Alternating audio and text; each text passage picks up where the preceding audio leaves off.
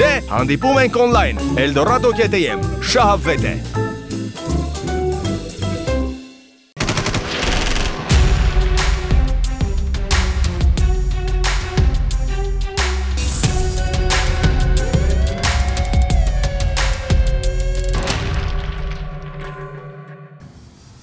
Հակակոռուպցիոն դատարանում այսօր կայանալու է Սերժ Սարգսյանի եւ նրա դստեր ապօրինի գույքի բռնագանձման հայցով նիստը։ Դատախազությունը պահանջում է Սերժ Սարգսյանից բռնագանձել Արարատ բանկ ընկերությունում ներդրված 107 միլիոն դրամ ավանդը, 44 միլիոն դրամի չափով տոկոսները, բնակարան Տերյան փողոցում կայանատեղին 186 միլիոն դրամ։ Սերժ Սարգսյանի եղբայր Լյովա Սարգսյանից ու նրա ընտանիքից էլ դատախազությունը պահանջում է 6 միլիոն 800 հազար դոլարի ավանդը, 9 անշարժ գույքը, 2 մեքենան, ինչպես նաեւ մասնակցությունը 3 կազմակերպությունում։ Հակակռություն դատարանը քննելու է նաև Գագիկ Ծառուկյանի դստեր, Ռոզա Ծառուկյանի եւ Կարապետ Գուլոյանի ապօրինի ցակում ունեցող գույքի բռնագանձման պահանջը։ Տվյալահաշվությունը պահանջում է բռնագանձել 1 բնակելի տուն եւ 1 հողամաս Կոտայքի մարզում, 2 ընկերությունում, Ագբաբանկում եւ էլեկտրոմոնտաժում ունեցած բաժնետոմսերը 1 միլիարդ 638 միլիոն դրամ։ Գլխավոր դատախազությունը պահանջում է նախկին падգամավոր Ալեքսան Պետրոսյանից բռնագանձել ՄԱՊ ընկերության բաժնետոմսերի 60.9%-ը եւ 1 միլիարդ 298 միլիոն դրամ։ Պահանջում են Ալեքսան Պետրոսյանից եւ նրան փոխկապակցված անձանցից բռնագանձել նաեւ Արմավիրի մարզում գտնվող 1 արտադրամասն ու 8 հողակտորը։ Ձմեռային զորակոչի մեկնարկից 3 օր առաջ մահացած նախազորակոչի Կերեկ Հարությունյանի մահվան փաստով նախաձեռնվել է քրեական վարույթ։ Քնչական կոմիտեի փոխանցմամբ նշանակվել է դատաբժշկական փորձակնություն ողջելու զորակոչիկի մահվան պատճառը, ինչպես նաև գործի համար նշանակություն ունեցող այլ հանգամանքներ։ Դեպքի պահին դուժողը գտնվել է իր քրոջ եւ նրա ամուսնու նշված հասցեում գտնվող տանը։ Շտապօգնության բրիգադը դուժողին ցուցաբերել է առաջին օգնություն ու տեղափոխել բուժ հաստատություն, սակայն հիվանդանոց վերջինս հասցվել է արդեն մահացած վիճակում։ Հունվարի 8-ին Պարեկներն Աբովյանի զինկոմիսարիատից նորակոչիկներին ուղեկցելիս են եղել Երևանի կենտրոնական զինվորական հավաքակայան, երբ նկատել են, որ Mercedes Magnus-ի մեքենան չարամտորեն խախտում է ճանապարհային երթևեկության կանոնները, երթևեկում է հանդիպակաց վթարային իրավիճակներ ստեղծելով մյուս տրանսպորտային միջոցների վարորդների համար։ Պարեկները հետապնդել եւ կանգնեցրել են մեքենան, ողրզել, որ 19-ամյա վարորդը երթևեկում է առանց վարորդական վկայականի։ Սյունիքի մարզի Շինուհայր գյուղի 49-ամյա բնակիչը ոստիկանության Գորիսի բաժնում կամավոր հանձնել է ատրճանակ գնդացի։ Նա հայտնել է, որ այն հայտնաբերել է իր տան նկուղում 1992 թվականի պատերազմում զոհված փորեղփոր սնդուկի միջից։ Հունվարի 10-ին ոստիկանության Իջևանի բաժին զանգած քաղաքացին հայտնել էր, թե քաղաքային աղբավայրի մոտ է թողել վերջին պատերազմից հետը բերած զենք զինամթերքը։ Մեկնած իրավապահները նշված վայրում պոլիէթելինային տոպրակի մեջ հայտնաբերել են նռնակ պայթուցիչով, երկփողանի ողորկափող հրացան եւ ինքնաձիգի 182 փամփուշտ։ Հունվարի 11-ին մի քաղաքացի զանգահարել է ոստիկանության Արարատի բաժին եւ հայտնել, որ պատերազմի մասնակից է եղել ու իր հետ Արցախից բերել է ինքնաձիգ ու այն թողնում է ոսկետապ գյուղի գերեզմանների մոտ գտնվող շինություններից մեկում։ Քաղաքացու մատնանշած վայրում կտորի մեջ փաթեթավորված հայտնաբերել են ինքնաձիգն իր փամփուշտներով։ Դեպքի փաստով քնչական բաժնում նախաձեռնվել է քրեական վարույթ։ 3 ժամը 8:20-ի սահմաններում Ծովագյուղ Շորժա Վարդենից ավտոճանապարհի 58-րդ կիլոմետրի հատվածում Volkswagen Magnus-ի ավտոմեքենան բախվել է երկաթե արկելապատնեշներին մի քանի պտույտ շրջվելով հայտնվել դաշտում։ 34-ամյա վարորդի դին հայտնաբերվել է մեքենայից մոտ 5 մետր հեռավորության վրա։ Վթարի փաստով նախաձեռնվել է քրեական վարույթ։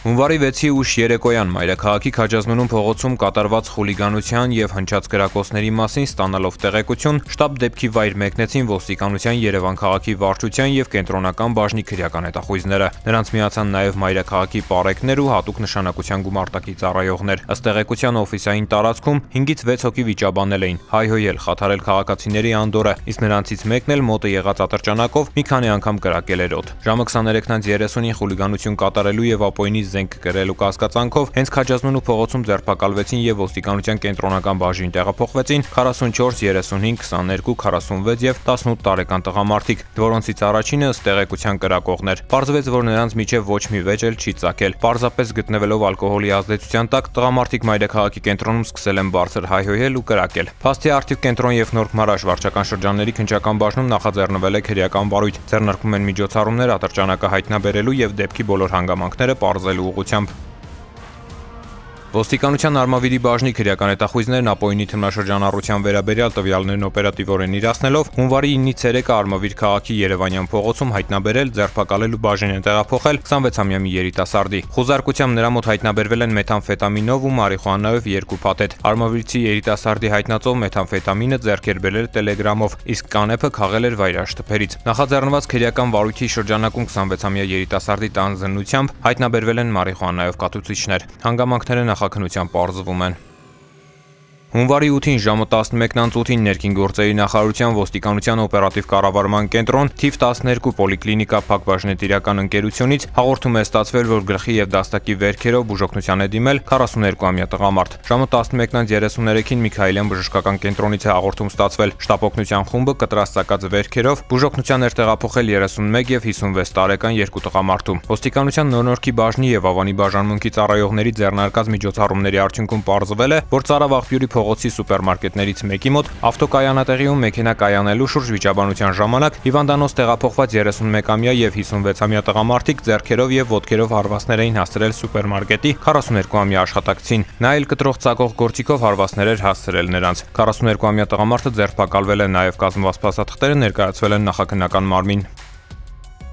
Ճամբարակի քրեական հետախույզները ստացել էին տեղեկություն թմրամոլության վերաբերյալ։ Ըստ տեղեկության Գեղարքունիքի մարզի Դրախտի գյուղի բնակիչ 28-ամյա երիտասարդը ամանորից օրեր առաջ գնացել է 29-ամյա համագյուղացու տուն, որտեղ գտնվել է նաև նրա 43-ամյա հարևանուհին։ Այստեղ 28-ամյա երիտասարդը թղթեփաթեթից վերցրել է մարիխուանա, չորացրել վառարանի վրա, լցրել պլաստիկ շշի մեջ, օգտագործել անձամբ եւ հյուրասիրել ներկաներին։ Նմանատիպ մի դեպք էլ եղել է արդեն հունվարի սկզբին։ Այս անգամ հարևանուհու հայրական չբնակեց ստեղծված տանը։ Նույն կերպ թմրանյութն օգտագործելուց հետո 28-ամյա երիտասարդը հյուրասիրել է մյուս երկուսին։ Թմրանյութի հետքերով շշերը գտնվել են կնոջ հայրական տանը։ Հունվարի 5-ին դեպքի արդիվ Սևանի քնչական բաժնում նախաձեռնվել է քրեական վարույթ քրեական օրենսգրքի 393-րդ հոդվածի առաջին մասի հատկանիշներով։ 28 եւ 29 տարեկան տղամարդիկ հայտնաբերվել եւ ներկայացվել են նախաքննական մարմին, որտեղ հյուրասիրող երիտասարդը ձերբակալվել է, ապա կալանավորվել։ Հանգամանքները պարզվում են։ Հունվարի 8-ին ոստիկանության Վաղարշապատի բաժին դիմաց քաղաքացին հաղորդում տվեց, որ դեկտեմբերի 20-ից մինչև հունվարի 6 նկատ ժամանակահատվածում Արմավիրի մարզի Գայգյուղում գտնվող հանգուցյալ հոր հողամասից գողացել են բետոնե 4 սպանել։ Օպերատիվ խումբը մեկնեց դեպքի վայր իրականացրեց համապատասխան գործողություններ, իսկ Վաղարշապատի քրեական հետախույզներն էլ նույն օրը պարզեցին, որ պանելները գողացել է Գայգյուղի բնակիչ 68-ամյա մի տղամարդ։ Նա ձերբակալվեց ու տեղափոխվեց ոստիկանության Վաղարշապատի բաժին, որտեղ էլ բացատրական աշխատանքից հետո խոստովանեց արարքը։ Տղամարդն ու կազմված փաստաթղթերը ներկայացվել են Վաղաշապատի քնչական բաժին, հանգամանքները պարզվում են։